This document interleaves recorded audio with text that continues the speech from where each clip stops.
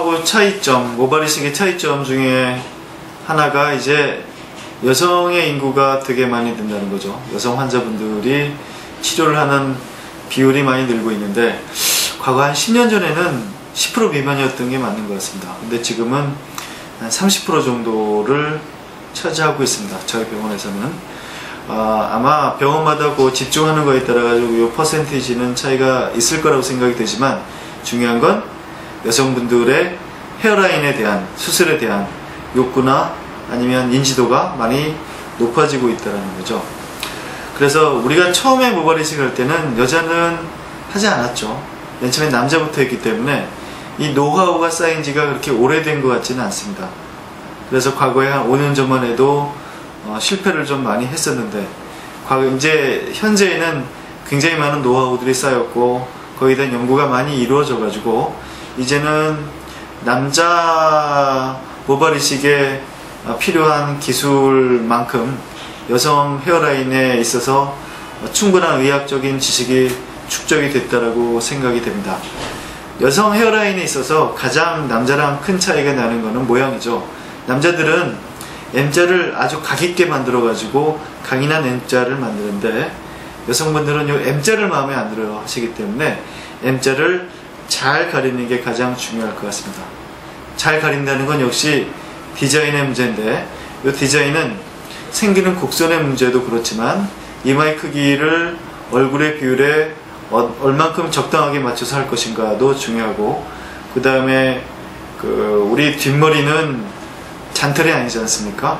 그게 굵은 털이기 때문에 어떻게 하면 잔털화 시킬 수 있을까? 잔털처럼 보이게 할 수 있을까? 또 상당히 중요한 요소 중에 하나일 것 같습니다.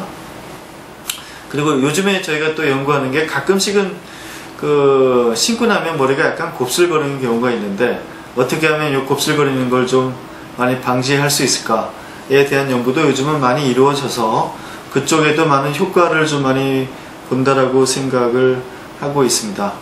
제 생각에는 앞으로는 어, 남자 모발 이식을 하는 것만큼 여성들의 헤어라인에 대한 수술의 어, 욕구라든지 아니면 어, 수요가 상당히 늘어날 것으로 생각이 되고 있습니다.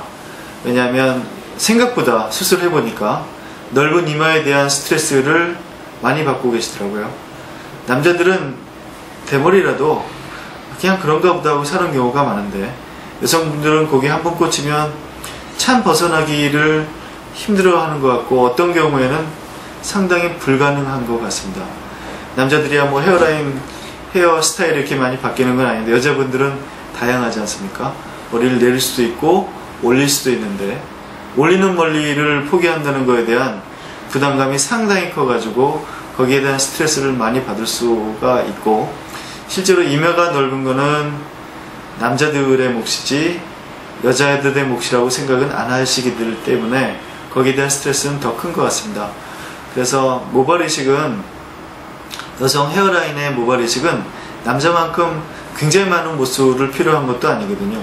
그래서 수술은 남자보다는 좀 더 작고 시간도 좀 적게 걸리고 어, 어떻게 생각하면 좀 편하게 치료를 할 수 있지 않을까 생각하고 있습니다.